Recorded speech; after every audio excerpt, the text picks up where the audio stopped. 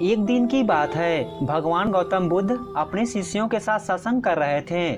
तब एक जिज्ञासु शिष्य ने महात्मा बुद्ध से प्रश्न किया, हे प्रभु, क्या आपके सभी शिष्यों को निर्वाण प्राप्त हो जाएगा? बुद्ध ने मुस्कुराकर उत्तर दिया, कुछ का हो जाएगा, कुछ का नहीं होगा। शिष्य ने फिर प्रश्न किया भगवान, आप जैसे महान ज्ञानी और योग्य मार्गदर्शक के उपदेश सुनकर भी साधुओं को निर्वाण प्राप्त क्यों नहीं हो पाता? बुद्ध ने शिष्य से प्रति प्रश्न किया, यदि कोई पथिक तुमसे राजमहल का रास्ता पूछे तो क्या गारंटी है वो नहीं भटकेगा? जिज्ञासु ने कहा यदि उसने रास्ता ठीक ढंग से नहीं समझा तो वह भटक भी सकता है। भगवान गौतम बुद्ध ने उसे समझाया, ठीक इसी तरह से मेरे बताए उपदेश को ठीक ढंग से समझकर उस पर अमल कर सके, ये ज़रूरी तो नहीं। जो उपदेश का सार समझकर अमल करते हैं, उन्हें निर्माण प्राप्त हो जाता है। जो अमल नहीं करते, वो भटकते रहते हैं। जिज्ञासु को अपने प्रश्न का उत्तर मिल गया।